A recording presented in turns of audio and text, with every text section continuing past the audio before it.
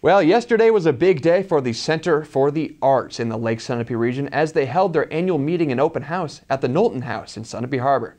It was an afternoon full of reflecting on accomplishments for the year and goals moving forward into the next year.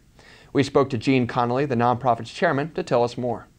Okay, well, today we had our annual open house. It's an opportunity for the board members of the Center for the Arts to tell the general public what we've been doing all year and what we're planning for 2017. We have so many programs that we're working on literary, uh, uh, literary events, uh, music events, theater events, visual arts uh, events, uh, art shows, um, dancing events, and we also uh, have a lot of other projects which we're very very uh, proud to be working on like our workshops and classes for youth and adults, our scholarship program for middle and high school students and aspiring uh, artists in all the different art uh, disciplines that are heading off to college. Uh, one of the other reasons we had this open house was to tell everybody about 2017.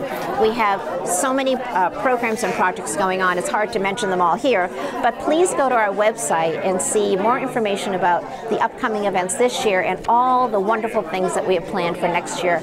Our website is Center for the Arts, NH, don't forget the NH, dot org. And it always, it has so much information uh, regarding uh, artists, performers, theater, uh, exhibits, and it will have our listing of all the 2017 events coming up. So there we go.